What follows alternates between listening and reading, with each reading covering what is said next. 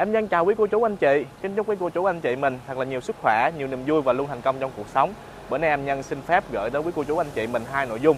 Thứ nhất là cái vấn đề liên quan tới bấm số toàn trình. Không biết là có cô chú anh chị nào thắc mắc vấn đề này hay không ha.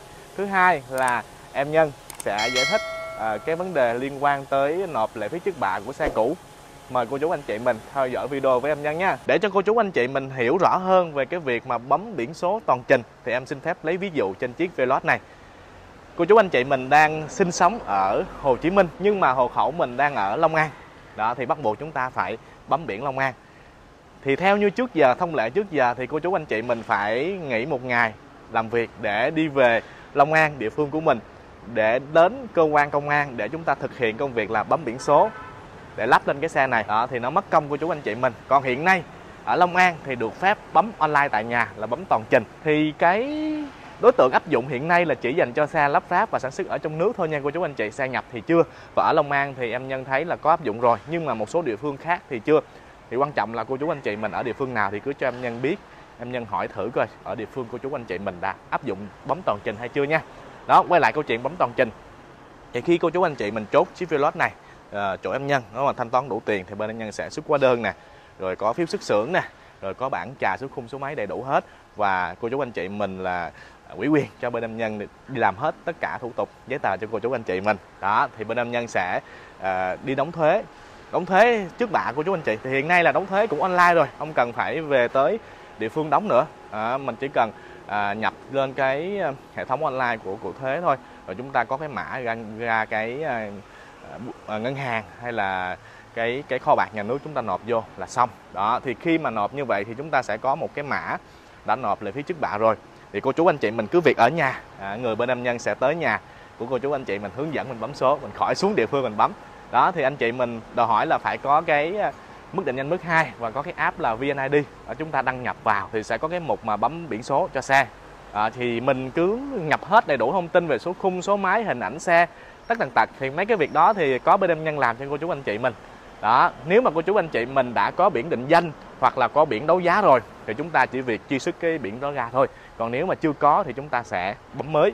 Dạ bấm mới nha. Rồi khi mà bấm chọn số xong hết rồi thì hệ thống nó sẽ trả về à, bằng tin nhắn điện thoại hoặc là bằng cái địa chỉ email mà cô chú anh chị mình cung cấp từ trước. Đó thì xác nhận là ờ quý anh chị đã bấm được cái số này. Thì bên em nhân sẽ cầm cái xác nhận đó đồng thời cầm với hóa đơn gốc rồi xuất xưởng rồi bản trà số khung số máy chạy về địa phương của chú anh chị mình để lấy cái biển số cho anh chị mình. Anh chị nha anh chị mình khỏi phải về.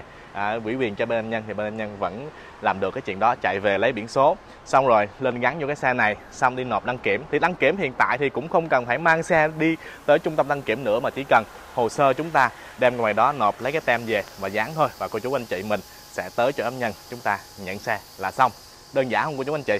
Thì em nhân thấy là cái trường hợp này nó tiện cho anh chị mình. Thứ nhất là chúng ta quá bận rộn đi không có nhiều thời gian. Chỉ có thể nghỉ à, buổi trưa một tí xíu khoảng 15 20 phút gì đó thì vẫn hoàn thành được công việc này. Bấm số một cách là nó trơn tru à, rất là nhanh tiện.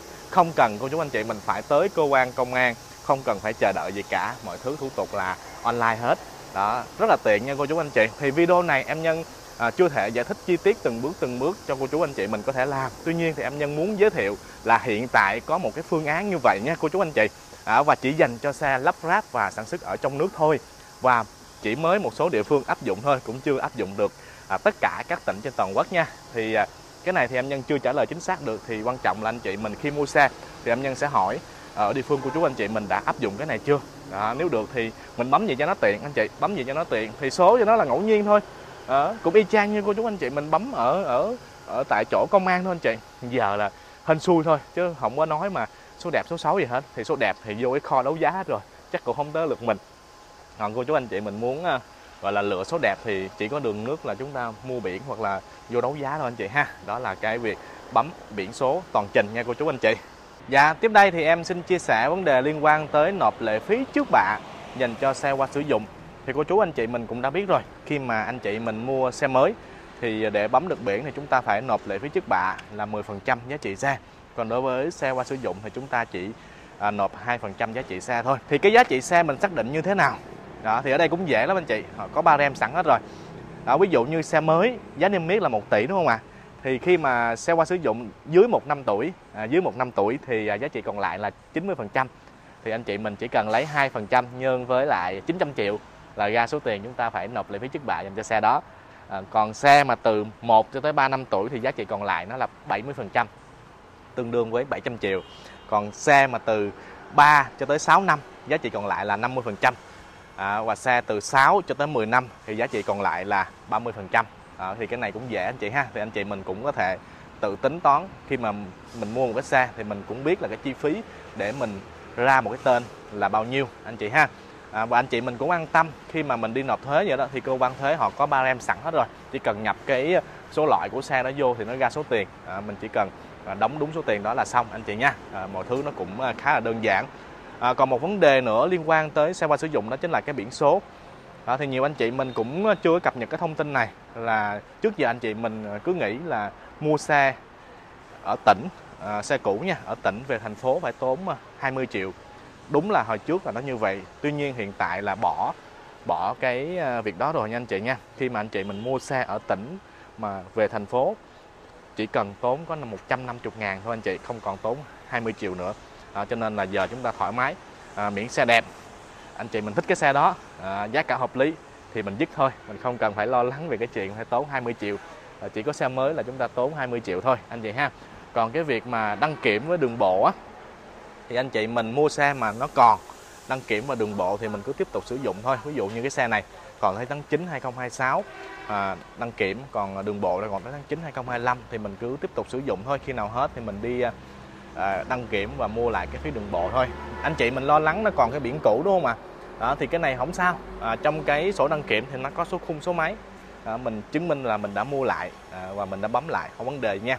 Chúng ta chỉ mua lại là cái bảo hiểm nhân sự thôi à, mua lại bảo hiểm nhân sự thôi. Còn bảo hiểm thân vỏ nếu mà còn thì anh chị mình cũng được tiếp tục sử dụng nha. À, thì anh chị mình à, hiểu rõ các thủ tục à, các cái bước mà khi mà anh chị mua xe cũ thì mình sẽ tự tin hơn đúng không ạ? Vì còn lại là mình lựa chọn một cái chỗ uy tín nè.